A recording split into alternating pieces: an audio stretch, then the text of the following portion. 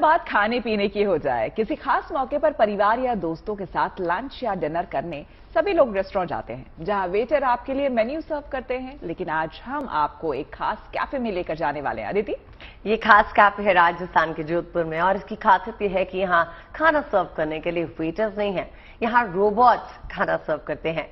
ये कैफ़े पूरे शहर में मशहूर हो गया है।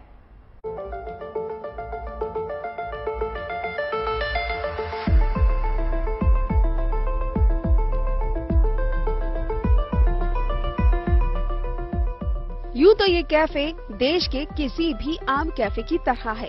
लेकिन अलग इस मायने में है कि यहाँ वेटर्स इंसान नहीं, बल्कि रोबोट हैं। वो भी पूरी तरह मेड इन इंडिया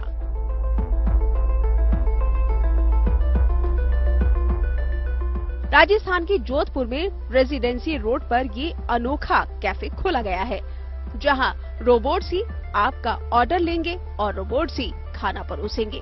तो बस ऑर्डर दीजिए और रोबोट आपको सर्व करने के लिए हाजिर होगा। ये रोबोटिक कैफ़े है फुली रोबोटिक कैफ़े है। इसमें रोबोट ही आपको खाना सर्व करेंगे। आ, टेबल पे डिस्पेंसर लगे हुए हैं। आपको ऑटोमेटिक पानी आएगा और सॉसेस भी आपको सभी वहीं पर ही अवेलेबल होंगे। इस रोबोट को मेक इन इंडिया की तर्ज पर तैयार किया गया है। इस कैफ़े में फ़िलहाल पाँच रोबोट रखे गए हैं। जैसे ही ग्राहक कैफ़े में आएगा ये रोबोट गेट पर उनका स्वागत करेंगे। उन्हें सैनिटाइज करेंगे। ग्राहकों के सभी सवालों का जवाब देंगे।